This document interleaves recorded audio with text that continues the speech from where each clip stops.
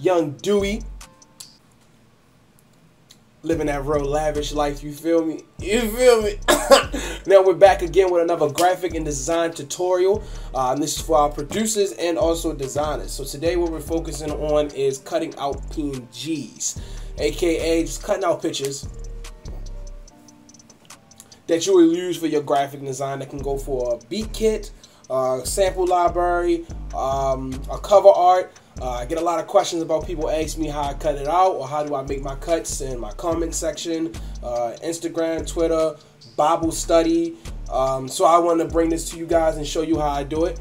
Now, um, just to let you guys know, I'm you see how I make my graphics, kind of distressed, kind of um, rough. So that's how I go for it when I do the cutouts. I don't make sure everything's perfect because everything doesn't have to be perfect. I work with a lot of people who make vintage sounds, so I try to make vintage graphics to match that. And you know damn well it was not perfect. So what we're working with right now is this picture that I actually found online. Little mommy right here. You see her? Look just like my ex. I swear. Little mommy right here. So what we're focusing on is cropping her out so it can look like this. You see that? See how I'm doing him? You see how she don't you don't feel me? And then even if you have a design that's like this, where as though you want to have it where as though it looks like she's 3D, like coming out of the picture, that's fire as well. I see that a lot. I actually may do something like that.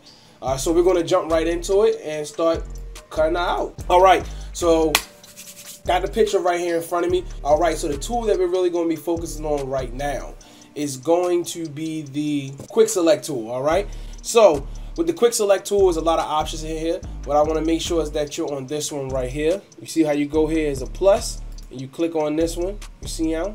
You see how that one has a negative on it? We're going to focus on the one as a plus because plus means we're going to grab it. You feel me? And then um, I usually start around 26, maybe start around 30. Uh, let me see. Let's go to 30 just in case. Now the size depends on how big you're working with. Now we are going to make it a little smaller when we want to get into some details so we make sure we don't lose anything of her. Um, now additional when you're doing this we want to make sure that we're also on the layer that we want to focus on. So let's go ahead and start. You're going to go ahead and take the mouse, go ahead and just start pouring on top of her. Go and make it rain down on me. I think we might cut that out the video. Uh, so we're going to go ahead and pull over. You see that? We got a nice amount of her. So we don't want any of those marching ants inside the image. We want it all outside because we're trying to grab this whole thing inside. So now we're going to zoom in a little bit. Now I look like I grabbed it. Now I usually start over here on the trim. You see how that's grabbing that? Which is fine because that's the system and Photoshop saying, okay, do you want to crop this out? We're going to go ahead and use this tool. Now, if you're on a MacBook, you're going to hold Option. If you're on Windows, you're going to hold Alt. So we're going to hold Option or Alt, and then you're also just going to bring this down this way. But we actually want to push it out. So I want you to not hit Window and Alt and just push it out. Try to trick y'all real quick. All right, see that? You see how it's like kind of deleting it? But we just go ahead and run your finger all over here right there. Want that line to go straight down, real sexy. Now we're at this area right here, and we don't want this orange. What we really want to do is just get this line of her body. So like I said, you're on a Windows, you're going to hold Option. If you're on, um, if you're on a Windows, you're going to hold Alt. If you're on a MacBook, you're going to hold Options. So we're going to go ahead and hold Options right now. You see how I'm doing here? Go ahead and push that up. You know, you see that? Get the march ants along with her. Now I like that. I want to keep that little part right here. You see this? We don't want that. So once again, we're going to hold options or alt and just click up in there. Did you see? What? I don't have to do any additional work. The system did it? What? It's 2014. All right, so back again with this side.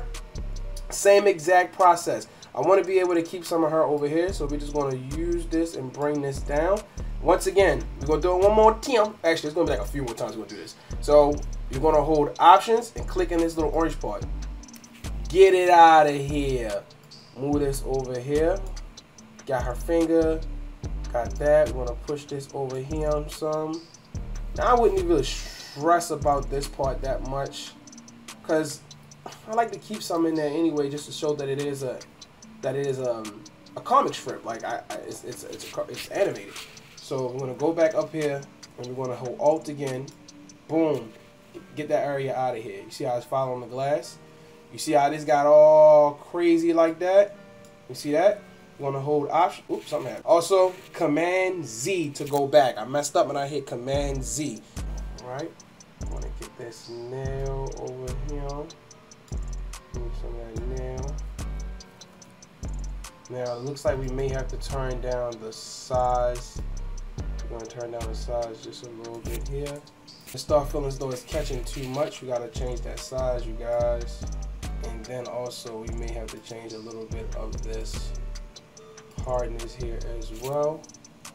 Hardness is basically how brass and how far it's pushing it back.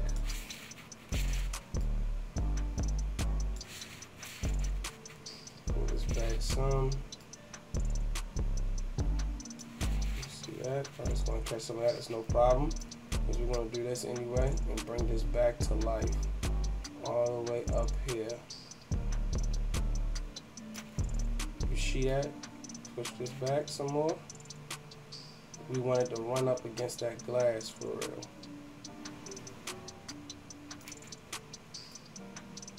Against this glass.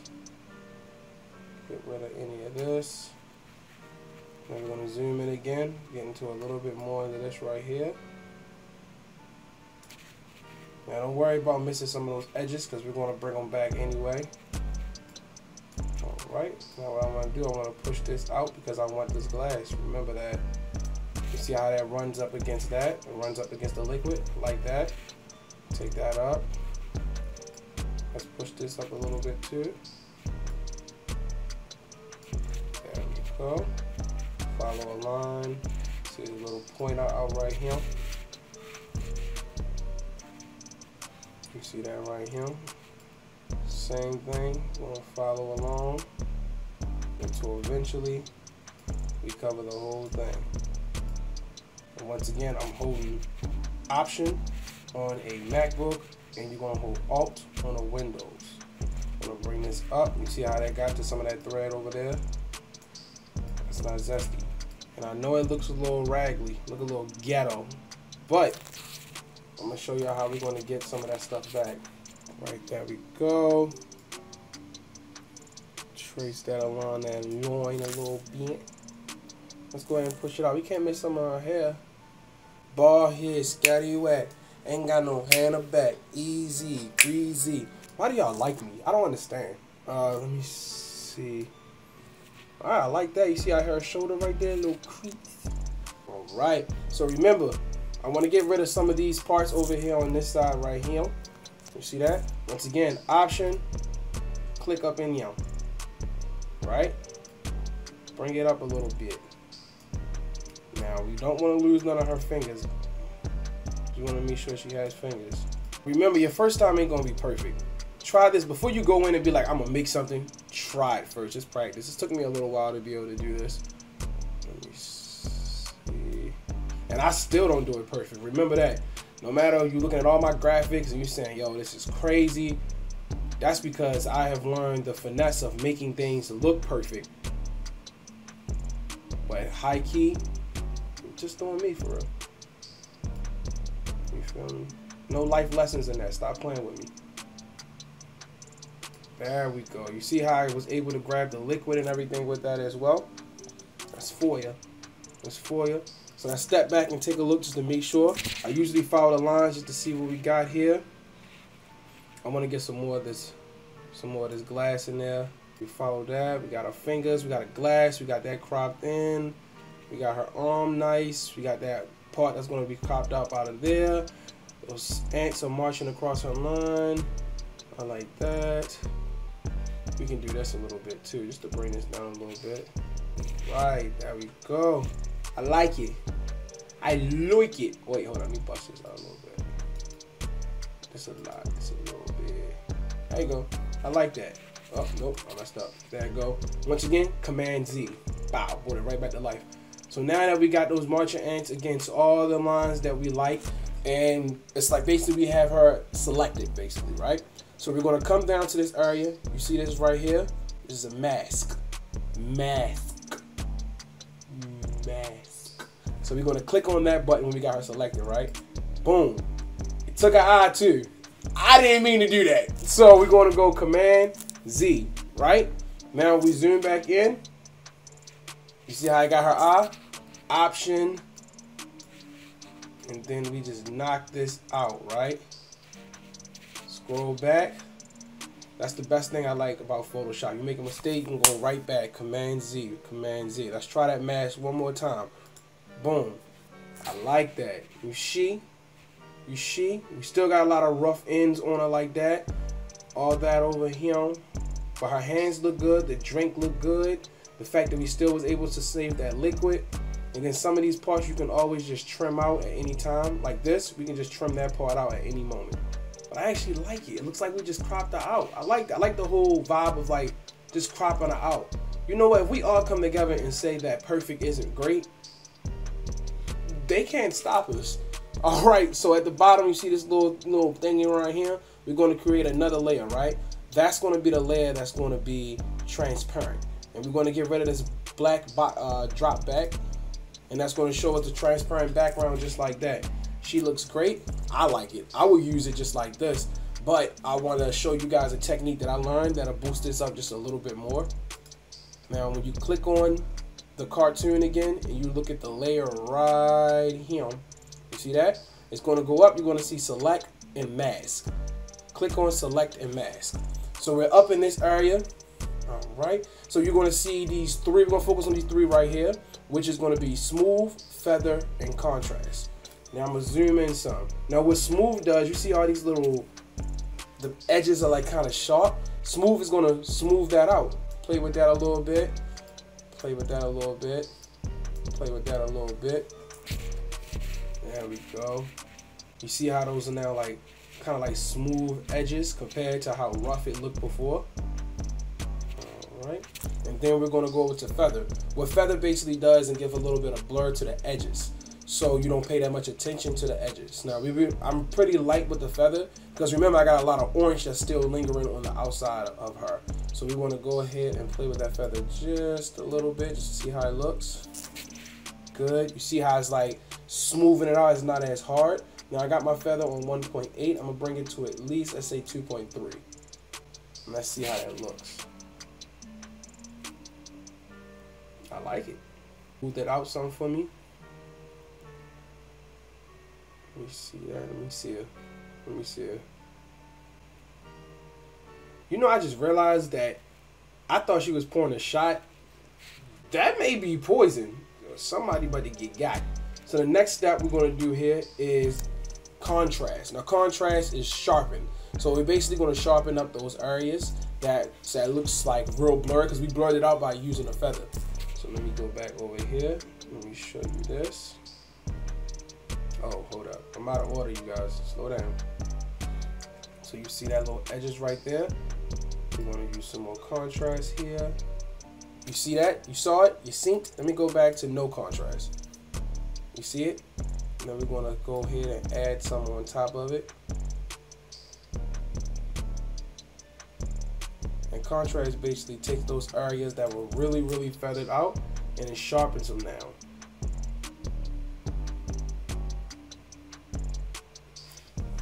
There we go. And then when you're done, you just hit OK. My MacBook wilding out, you guys. Relax.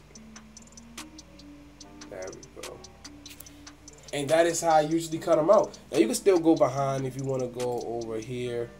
Zoom in a little bit on this. Not a lot. You can still eat that up on that way. Okay. Bring the size down on the brush a little bit. like. That's if you if that orange was just bothering you a little too much you can always run a little bit on the trims and then you use the magic eraser tool for that. Like this little bump right here you can get that out of here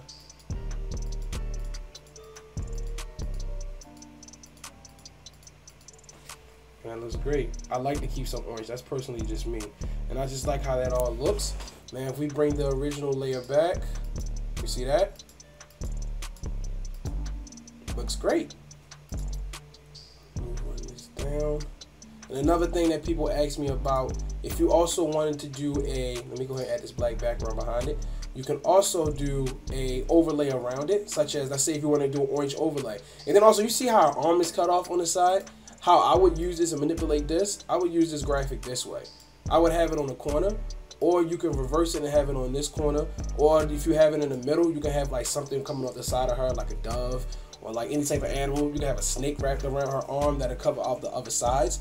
Um, if I would show you all my graphics and peel back some of the layers, you'll see that it's a lot of spots that are just like cut off. And you use that to cover it up. If I would rotate this and lay it to the side, you can cover the side up with diamonds. It's all about covering up those imperfections, um, which are always there in any type of graphic and design for real. You feel me?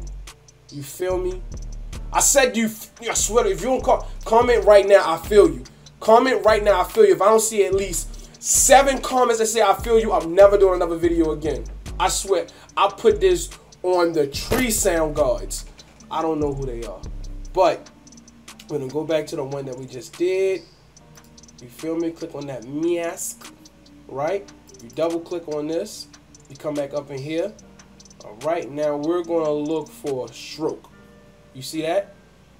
And then we can always change the color of the stroke as well. Oh wait, let me go back to stroke right? You see how it's that color? Let's say if I wanted to do that orange because that orange was already there, so. And then you see the size. You just bring that size down a little bit. You see that? That also helps with any imperfections that are inside of your graphics and everything like that. Nothing wrong. I think TMZ uses a lot. You see how they outline everybody all the time on TMZ? This is how you outline, you get rid of some of that, oh, that extra stuff that comes out. Anything that's like sharp, and that's really how you do it, just like that. You feel me? You feel me? Hold up, quick run through. You feel me? What? They'll never know I stole it. They'll never know. All right. So basically, that's all I wanted to talk about with you guys today. I hope you really enjoyed the video. I just want to say thank you to you guys. This is my third video up. I really appreciate all the comments and the support. Um, once again, uh, I hope you guys enjoyed the video. My name is Dude Clayy. Follow me at Instagram, Twitter, uh, SoundCloud, SoundLink, um, uh, Google, Uber Eats, Postmates.